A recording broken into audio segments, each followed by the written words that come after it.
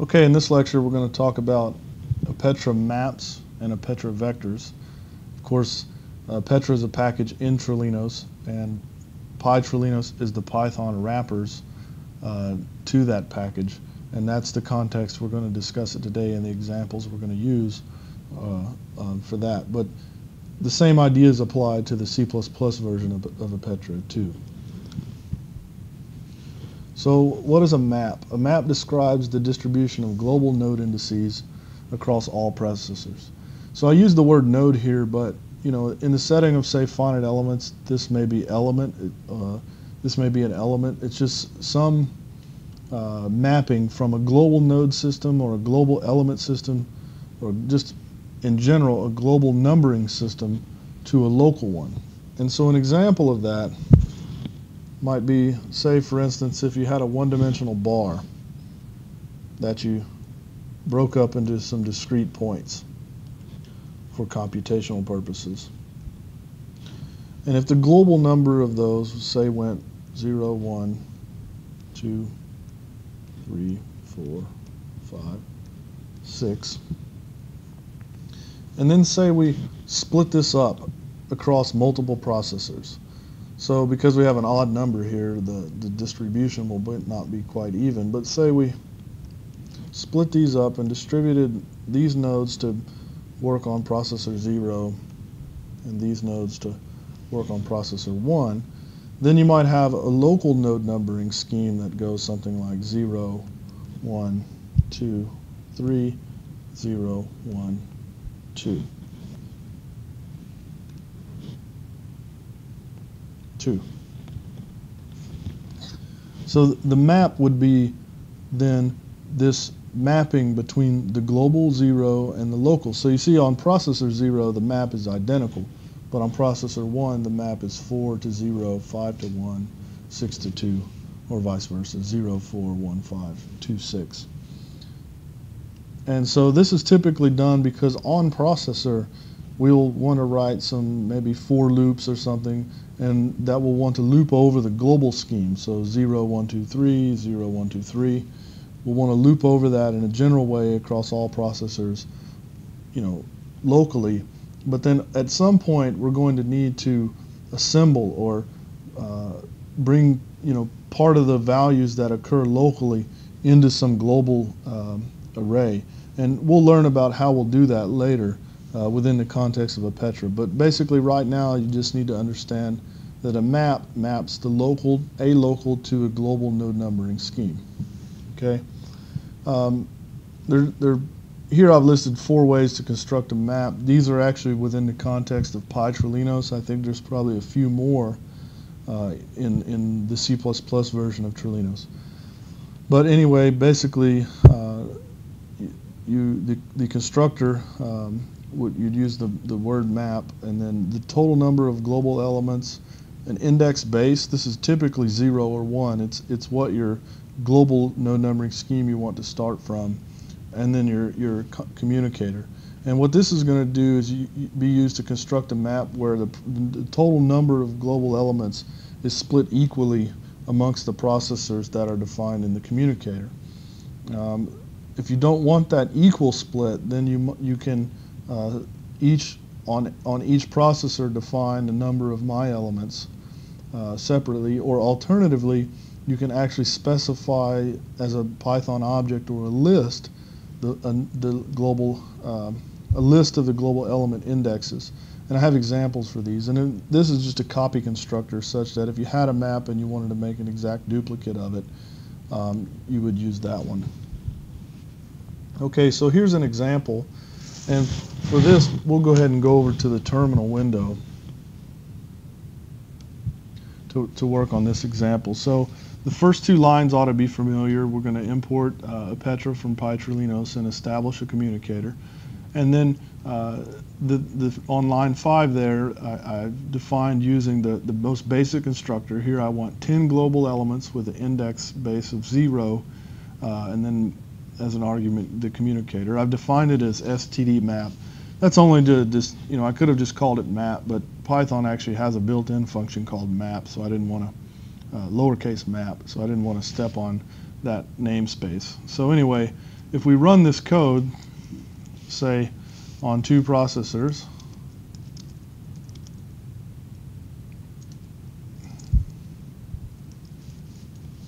then we'll get this answer. And you notice they're not printed out in order. That's because, uh, you know, of course, these are run simultaneously, and we can't control what, what order they're going to arrive at, at the standard, you know, out on the terminal. Um, so if we go back, you could change, say, this to uh, 20 if you wanted 20 elements, and this to 5. So now the, the global node numbering scheme is going to start with 5 for some reason. Uh, and there you see that. So 5, 6, 7, 8, and so on. And of course, we can run this on, say, four processors, and we get split uh, amongst four processors. And uh, 20 doesn't divide by 3 evenly, but you can see that it'll handle uh, the odd split there. Um, so 2 will have the same number, and then the third one will have an odd number. So another example, this is using the second type of constructor. In this example, uh, we're going to have a, uh, a different number uh, on each processor. So here I've defined a variable uh, that, that's the total number of global elements, and then I'm going to say the number of elements on the first processor I want to be 4. Um, and so then what I'm going to do is say the number of my elements on the first processor is equal to 4, and then the number of elements on all the other processors is the total number subtracted by 4, so 16 in this example, uh, and divided equally amongst the rest of the processors. Okay, so what this would, uh, if I ran this on say three processors, what I would get is, well, let's start. If I ran it on just two processors, I would have a split where the first four global indices are on one processor and the other 16 are on the second processor.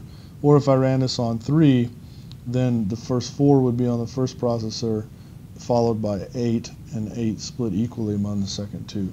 So this is an example of using the constructor where I'm going to specify the number of global elements, the number of elements on each processor, the base is zero, and then the communicator. And this is an example of that final one where here I'm going to explicitly give a Python list of indices and pass those into the constructor. So here I say my global elements.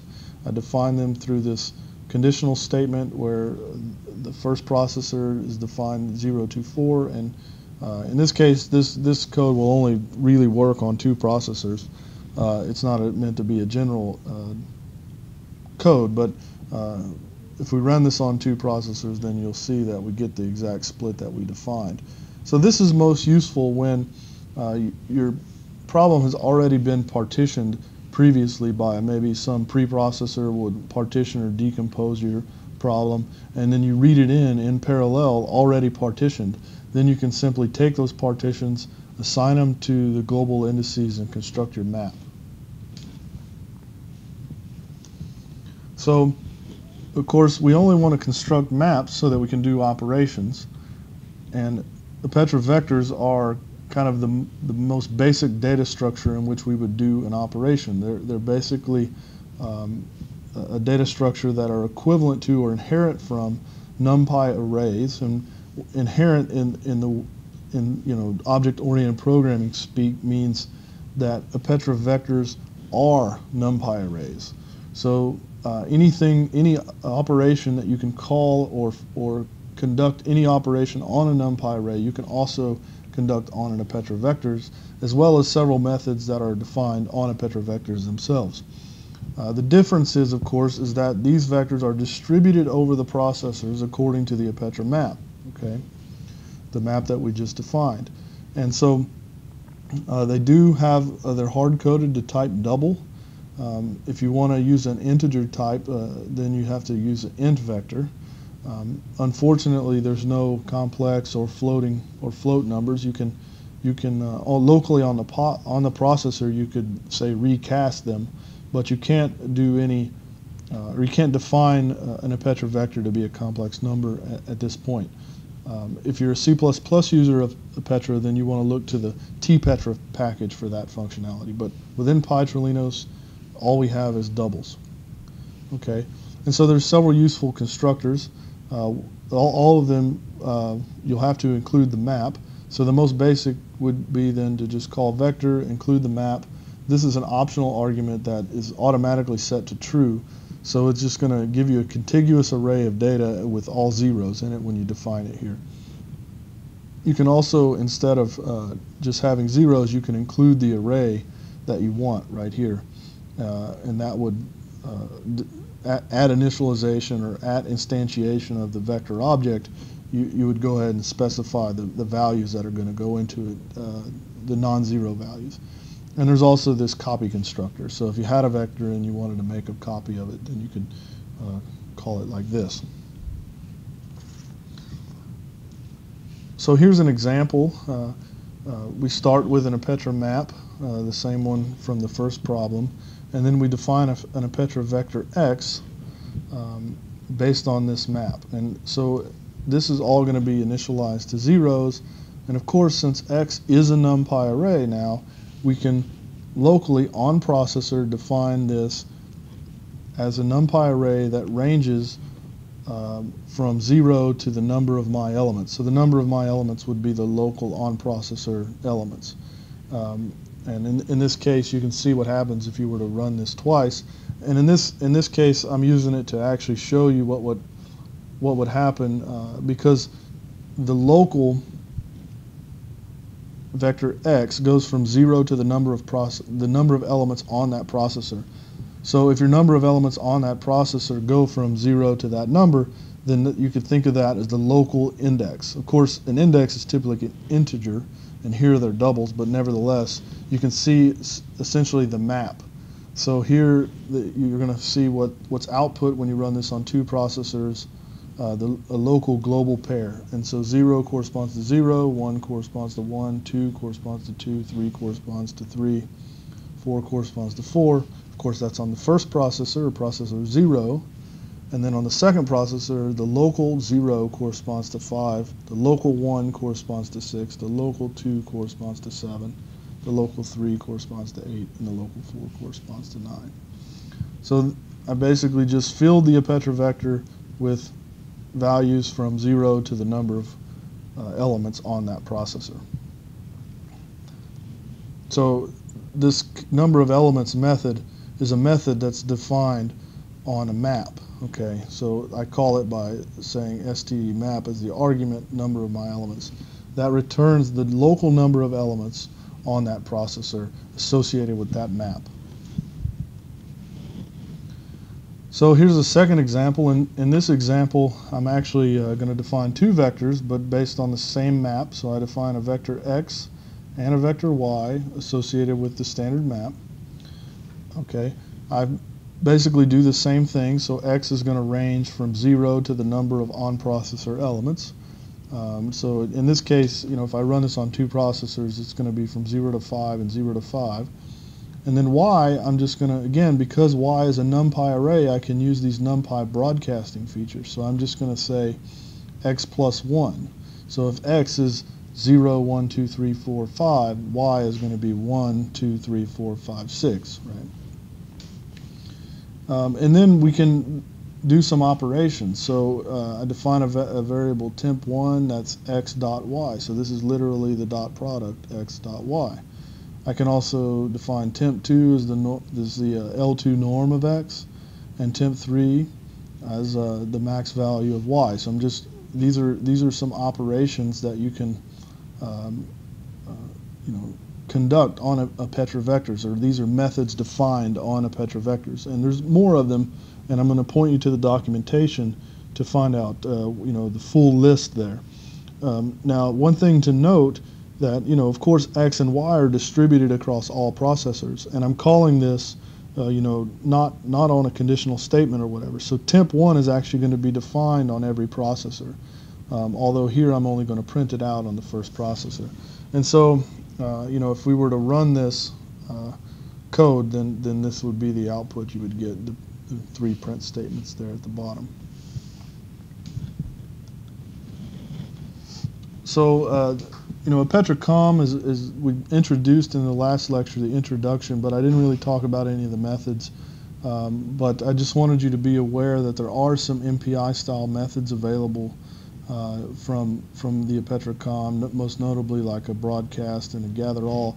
Gather all is important. It's it's similar to gather in that it's going to take um, you know basically Python objects which can be anything, uh, lists of integers, uh, strings, doubles, and it's going to gather them to every processor. So if you have a distributed list uh, of say integers and you gather them, that list is going to, be, or you call this command gather all, it's going to be gathered to all processors at the same time. And same for sum all, max all, min all. I also wanted you to be aware that there is uh, this get MPI com uh, sort of getter function that's defined on the communicator. And with that, you can call any mpi4py method that we've already talked about. So, and, and it would use the, the exact same syntax. Um, this is typically not needed. Uh, it's sort of only in spe very special use cases, but uh, Epetra gives us a lot of other options that, that uh, to, to deal with these distributed arrays such that we don't typically need to do our own explicit MPI calls. So here's just an example. Uh, here I've just defined a, a vector x on every processor that ranges from 0 to 5, and then I'm going to gather them all and just quickly, we'll go over to the terminal. And if I run this,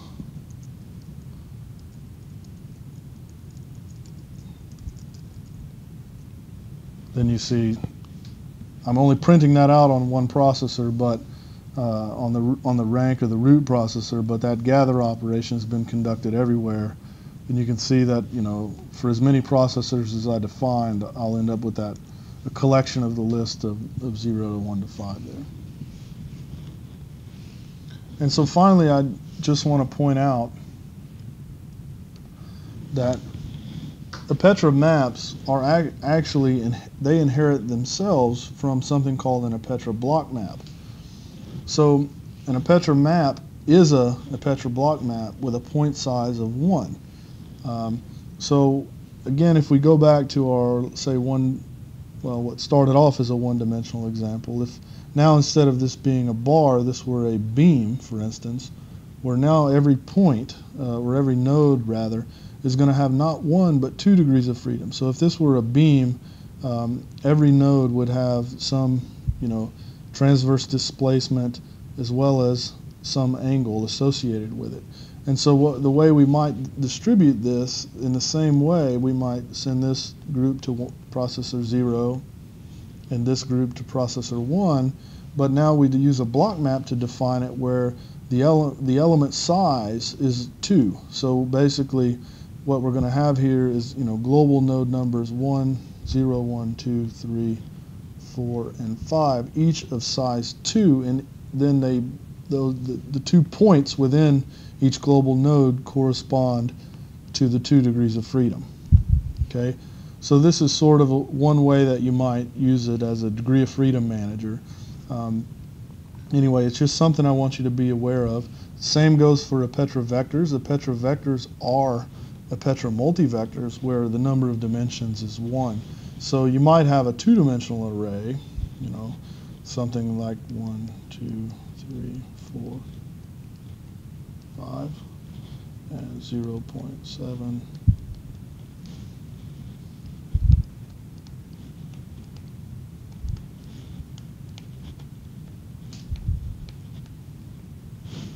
something like this.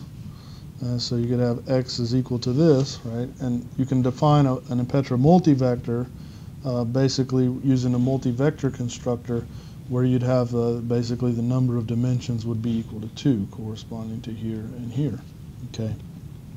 And so in practice what this really means for most of the cases is um, when whenever you want to look up a method or you're trying to uh, figure out uh, you know a function to, that operates on an Epetra vector or an Epetra map a lot of times those are actually defined on Epetra block maps or multivectors and that's because a vector inherits from multivectors, which means it can also use all of the functions that are defined on multivectors. So to give you an example of that, we used that number of my elements earlier in the, in the block example. And if you go to Epetra map or the Epetra map documentation, you know, all the public member functions, which means the, the functions or the methods that are actually defined and that you can call on an Epetra map, well, they're all right here. And, and you don't see number of, uh, you know, my elements anywhere. And it's because it's actually defined on an Epetra block map. So here's the inheritance tree. The Epetra map inherits from the Epetra block map. And if you click here, then you go down. Now you see a lot. So here's the public member functions. These are all constructors. Again, this is the C++ documentation, but it follows very closely in PyTrilinos. And if we go down, eventually you'll see number of my elements, number of elements on the calling processor. So this is where that is defined, and we, we, we called it on an Epetra map, but it's actually defined on an Epetra block map because an Epetra map is an Epetra block map. Anyway, that's all for this lecture. Uh, in the future lectures, we're going to talk about how we actually use these Epetra vectors uh, to do computations and how we can use some of the built-in features of Epetra to communicate values across processors when needed so that we don't have to make those explicit MPI calls.